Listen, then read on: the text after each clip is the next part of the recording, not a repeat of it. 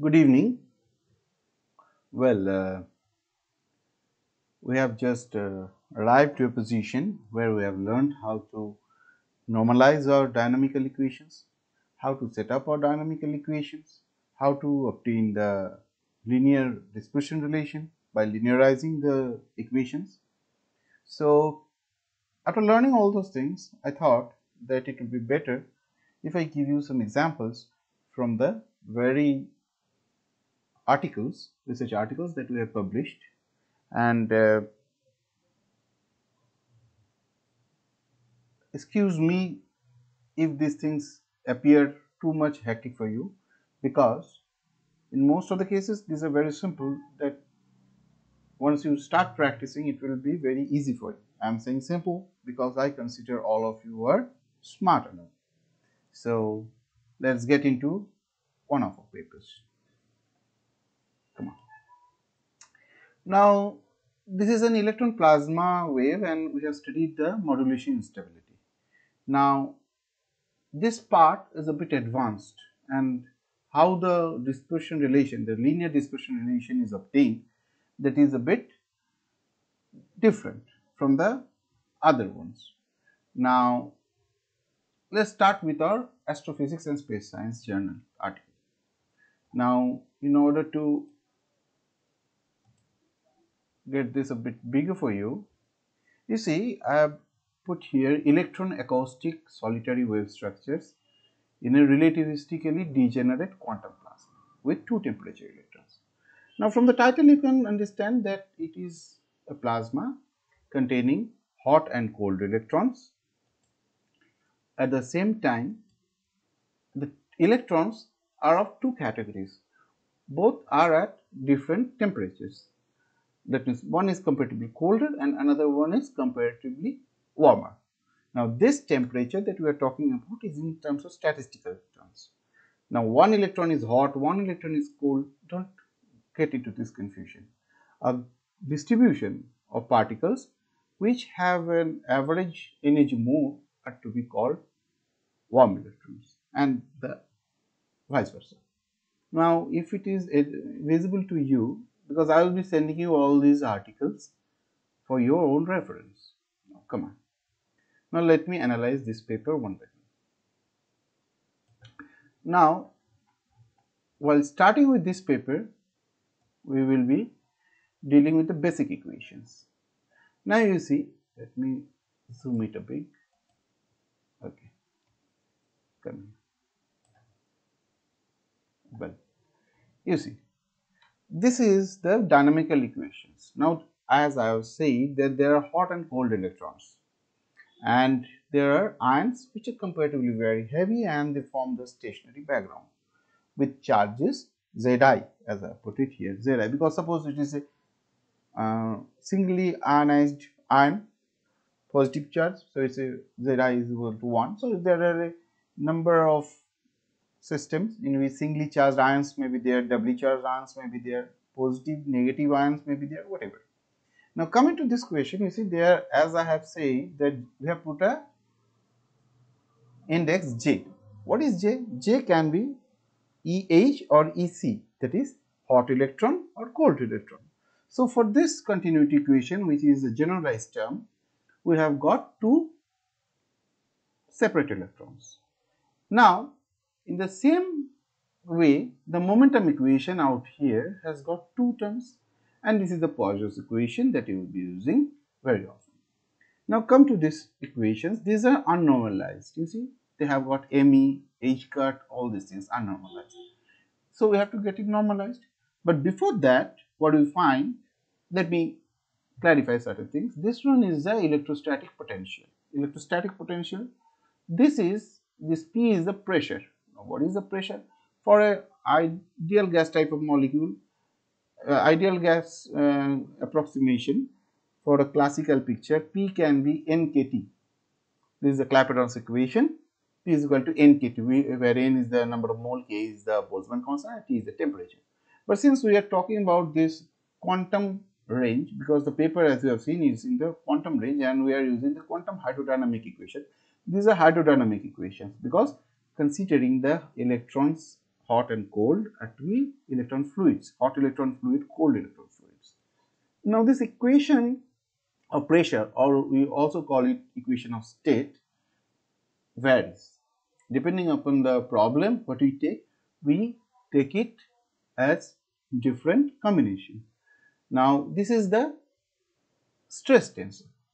Now what is this quantity? Some of you have asked me, sir, while I was doing those uh, assignments with you, you said that, sir, why did you ignore the third term?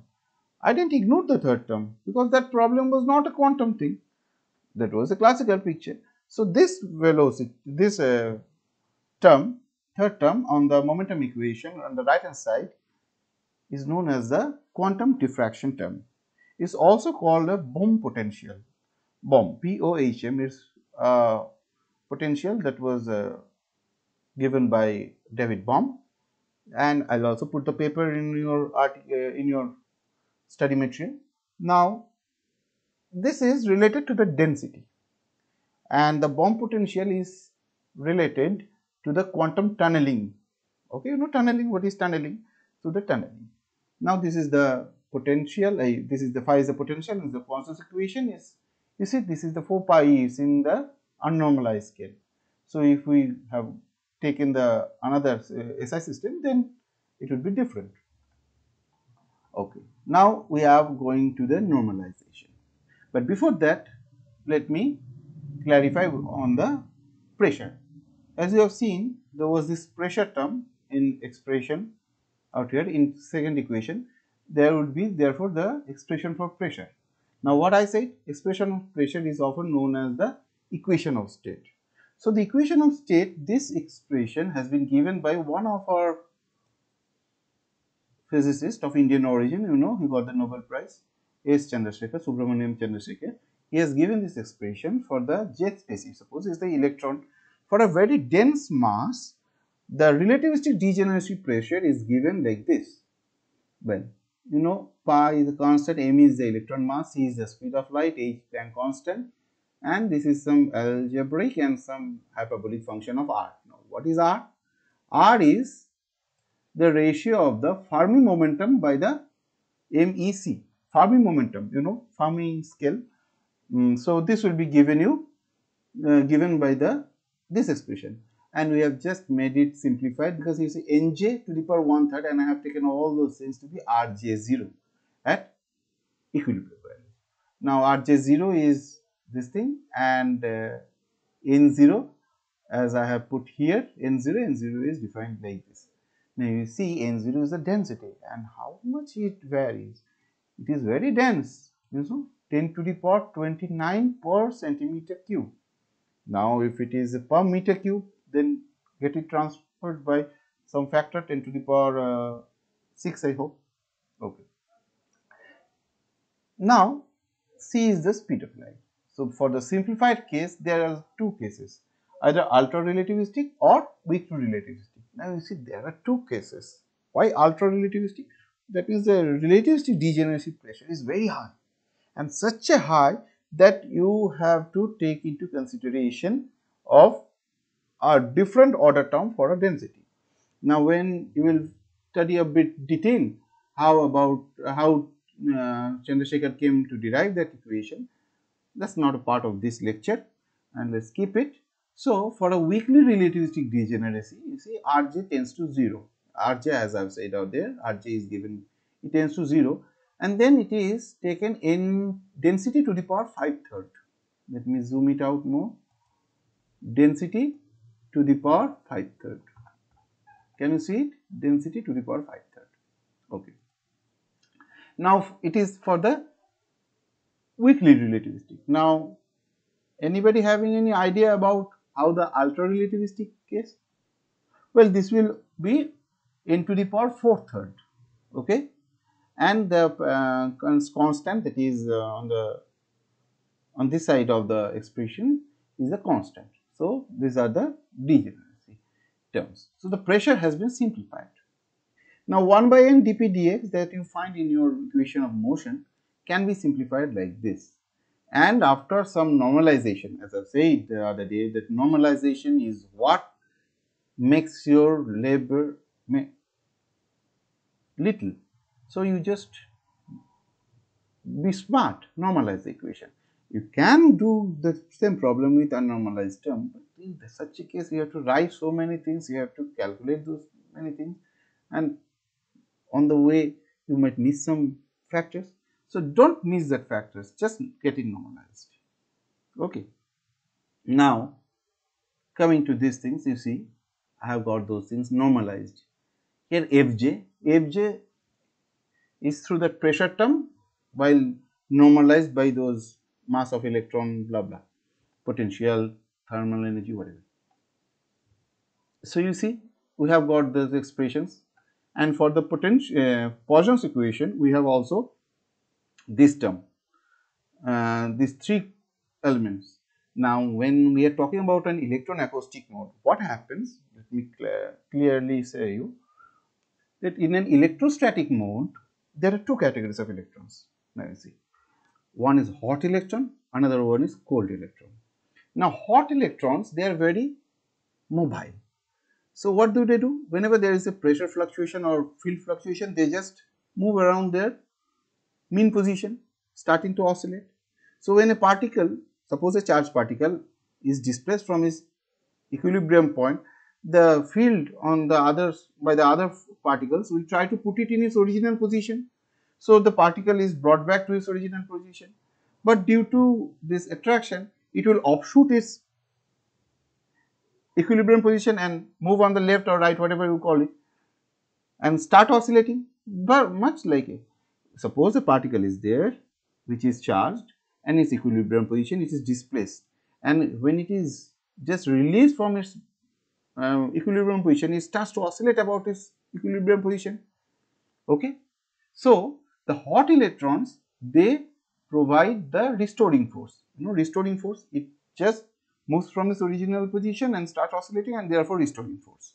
Now, let me clarify you for a momentum equation the right hand side this equation is the restoring force term and this part is the inertia part. Let me go a step back then you can be able to understand. See. Here it was me, I just divided it with me. Had me been multiplied with this thing, mass times some acceleration. So, this is proportional to the inertia, you know, mass is a measure of inertia as we all know. Now, coming to this thing, so this part will be called the inertia and this one will be the restoring force. This is the electrostatic force and this is the quantum force or quantum Bohm potential or quantum diffraction, whatever you call it. Now, we are talking in the quantum regime, that is why those quantum terms come and the pressure is also quantum. Had it been in a classical range then the Bohm potential won't arrive there and the pressure would be some uh, thermal pressure kind of thing. Now you see you have just normalized those things and those normalized and H is a non-dimensional quantum diffraction parameter defined by the ratio of two energies. Well the ratio of two energies let me tell you H cut omega EC it is the energy associated with a plasmon with a plasmon. what is a plasmon? A plasmon is a quantum of plasma excitation. As you know photon is some quantum of electromagnetic this thing electromagnetic uh, field um, some call it a phonon is for a vibrational field a field so we call it a plasmon. Now this is the energy associated with a plasmon divided by 2 kT FEH. Now this factor 2 someone asked me how did it come? Well, you just check the original works of by Haas which I think is beyond the scope of this lecture. Haas Manfredi when they have included the uh, quantum hydrodynamic model in the quantum regime by taking those uh, moments of uh, distribution function in the velocity space, they will get some constant like this. You see, delta is NEC0 by NH0 the equilibrium densities of cold to hot electron and it is the delta n is the ion ion charge multiplied by the density by NEH0 now these are the equilibrium number of density cold electron hot electron and ions. Now from this we can say that it has been normalized with hot electron density. Got it? The normalization therefore follows some strict rules. Now, you see this one is the unnormalized, uh, normalized and this are the unnormalized expressions.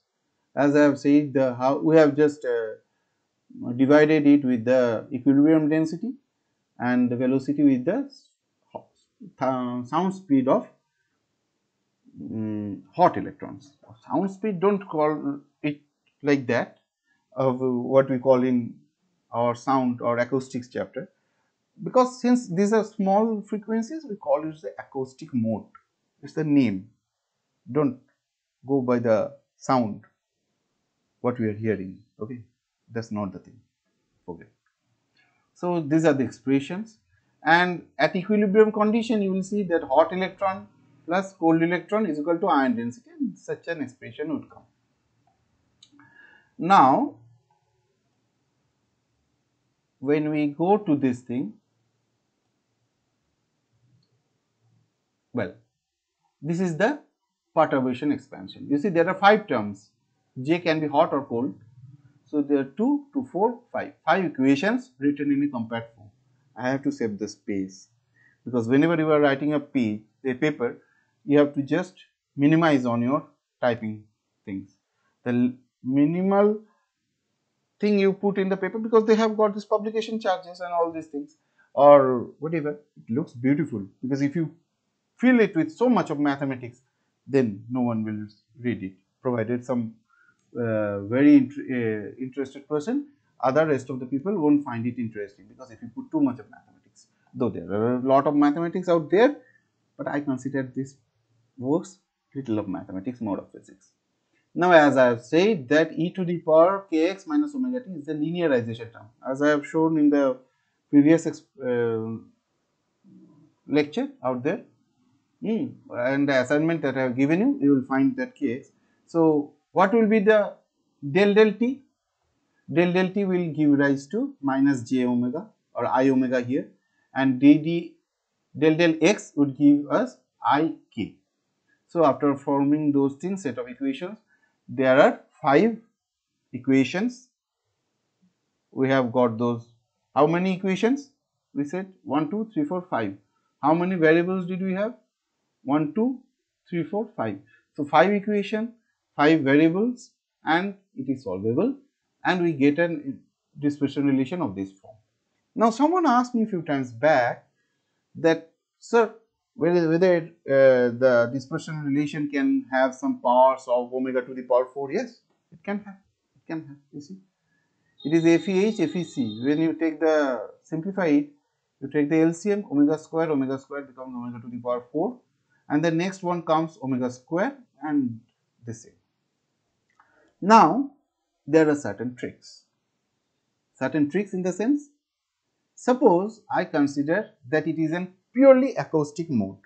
Therefore, we will ignore the inertia corresponding to hot electrons. When it is hot, any NEH, then left hand side will be 0. And for cold electrons, this side will be there, inertia will be there and the right hand side, this uh, pressure term will be absent. So, you see then omega would become very simplified because there won't come this expression corresponding to this expression omega square won't come and then this fourth this omega won't come somehow we will check it and then uh, we will get a omega square omega to the power 2 kind of dispersion relation with some term with kk. Now taking this into expression and I have done a bit long work laborious. So we have got two modes you see corresponding to and these are big things okay? Uh, writing all these things every time will be very terrible. Just uh, simplify this. So we have just taken it b c like this and combining you see omega 1 omega 2 now you see this thing must be less than b obviously it is less than b or else the square term will be negative which is not possible also, when you take these terms and when you find the density, a frequency, you have to just ignore the negative frequency. Mathematically, it is coming. but physically negative frequency it is meaningless.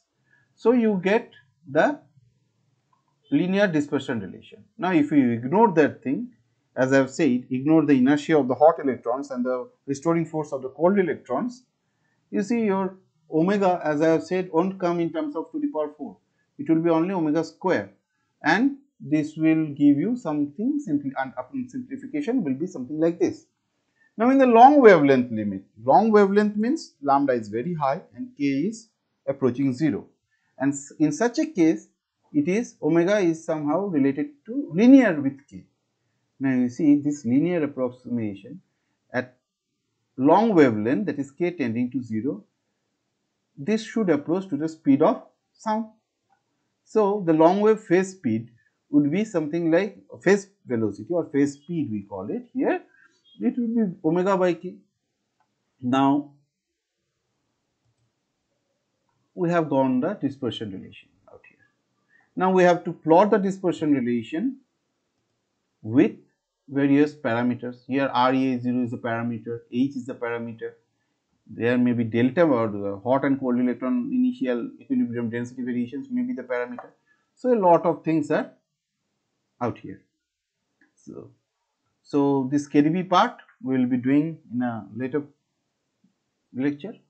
Now, similarly, let me check with these things linear and nonlinear and what we have done we have got that kind of things.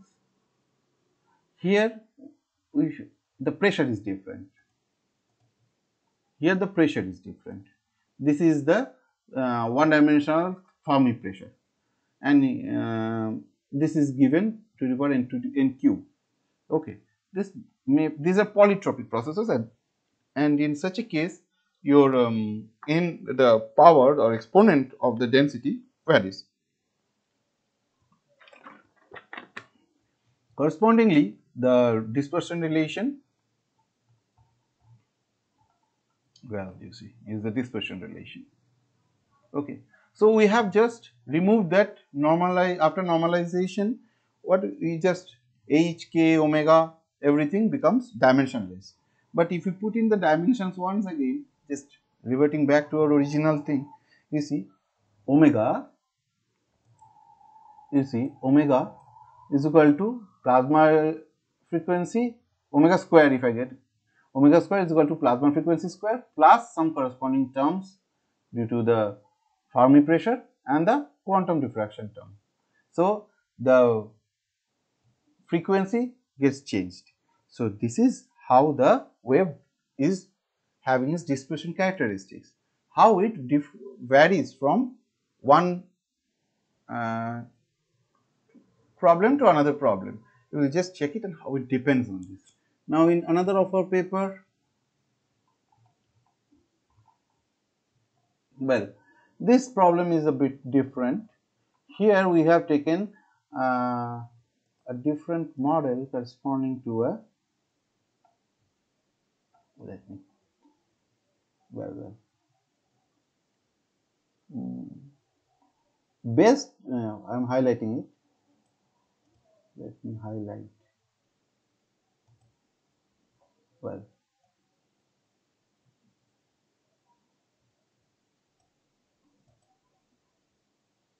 why can I not highlight it? Where are those colors? Excuse me yeah.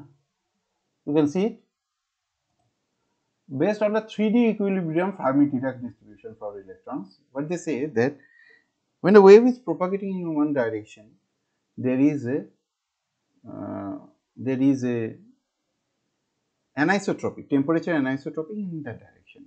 And with such a case the set of equations undergo some changes you see.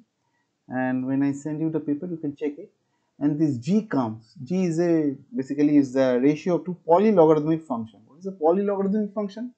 It's a log of log okay? So you just check it in the internet. What is a polylogarithmic function? You see i have just written here polylogarithmic function. And accordingly you'll get the dispersion relation where it is. Well now what are these omegas uh, gamma, gamma 3, gamma 2. because in this problem we have taken some uh, streaming value. Okay? And considering the streaming value we have plotted the uh, relativistic things will come in. Well that is a different thing. Now let me supply you with some astrophysical data. You'll feel good isn't it for example, in case of Jupiter, whose density is 10 to the power 32 per meter cube, temperature of the order of 10 to the power 4 Kelvin, G has got this value. So, G has 4 value in a white dwarf. What is a white dwarf? White dwarf is a phase of a star, okay? Check it. Astrophysics, plasma, astrophysics people, just check it. Okay. Now, this is one of our papers which I just well nothing to relate. This is a comparison. Well come here. Now you see someone just said sir we are not considering the streaming of motion well streaming of particles. You see we have got streaming here. And in such a streaming what happens? The equation of motion undergoes some changes. You see del n del t plus del del x, nu was there. Now one gamma factor comes in. What is gamma? Gamma is a relativistic streaming factor is equal to 1 by root over 1 minus v square by c square or u square by c square. So that factor comes in. These are the Eulerian equations where the gamma factor, relativistic streaming factor has been included. Okay. And uh, well, I should even here you see gamma j is equal to 1 minus uj square by c square to the power half. Okay. So, that factor. Hmm. And the you see the streaming velocity the has been included in the dispersion relation. And how many roots can it have? 4 roots because omega square, omega square when these are different things because there is mu. When we take these two things, multiply it and while simplification it gives you omega to the power 4. So, fast mode, slow mode. Now, when you take the equation uh, of streaming velocity in the expression is omega minus k u square. When you square root that and put this thing stuff on the right hand side you see. Oh, I have just made a how did I? No, it is the first mode where this discriminant is plus and it is minus omega minus ku0 was there so ku0 comes on the right hand side. Okay now i just want to change some you see here there were two particles okay? Mass of electron and mass of this thing. Now while doing this ion because hot electron and cold electron will have the same mass but electron and ion have different mass now, while normalizing you see the charge of electron and ion are different. So, in that there was one q in our normalized equation, q was there. So, charge will be there. So, one will be plus and one will be minus depending upon how you normalize. And there was this mass term, it was suppose uh, I normalize it with the mass of mass of electron. So, mass of uh, electron upon uh, that is me by mi becomes this becomes mass of ion uh, electron by ion and this is the expression. We have included it. Someone asked me a few times back no? Sir uh, if the masses uh, why are the masses not normalized? They are normalized provided there are two different spaces for electron and ion for electron electron there is no such uh, mass factor coming. Or electron positron no such mass factor. Okay now such are the differential equations we are doing. Now this is also an ion acoustic solitary structure. Well, we will study about this later. Hmm. These are ion acoustic modes. So all those things were electron acoustic modes and here ion acoustic. Well, this is one of our papers in Cambridge. On particle beams. Well, I'll just give you an idea what are the journals that we use. Hmm. Mm -hmm. These are distribution functions okay kappa distribution blah blah. We'll just study it. Don't worry. Life is very beautiful. Hmm. and mathematics is beautiful. More beautiful. And physics is the most beautiful. Okay remember this. Whenever you find some person of other subject tell them. Sir told us that uh, physics is the most beautiful subject well keep it for now well what are the journals that you use is a laser and particle beam is from cambridge it is also from laser and particle beam it is an indian journal from CSIR NISCAIR. We love our Indian journals and we should publish in our Indian journals. Indian Journal of Pure and Applied Physics is a very good journal, very good journal. Uh, it's published by NISCAIR, okay. In Delhi, you will find that uh, near Pusa Road, over there, close to Rajendra Nagar, there is their office. Hmm. Uh, IRI, Indian Agricultural Research Institute, उसके बगल में है, okay astrophysics and space science this journal is by springer you know springer is a german company i hope german company springer verlag mm -hmm. and let me introduce this is me one of my co-guides professor paul and this is basudev ghosh my guide and right now my teacher my guide and uh, right now we are collaborators and uh, you know he you have written so many books by Professor Basudev Ghosh. Mm. As for the Calcutta University students and students from Burdwan and other parts, you have read that uh, practical books, optics, electronics, and series our guide. And this one is my first paper. Okay, how long back? 2011. I sent it in 2010. Yeah, it was in 2010. So, as for now, I have taught you the different this is a equation what is this equation as i've said fermi gas pressure okay now what is this pressure just recapitulating once more this is a relativistic degeneracy pressure given by S. Chandrasekhar. You know, what is his uh, book in which he has put here? Well, well, let me you. Chandrasekhar. Chandrasekhar, an introduction to the study of stellar structure. University of Chicago Press, 1939. Hmm. And there are some other people who worked on it, Fowler, uh, Eddington, these are the great, great people who have just, and uh, we are also doing out here.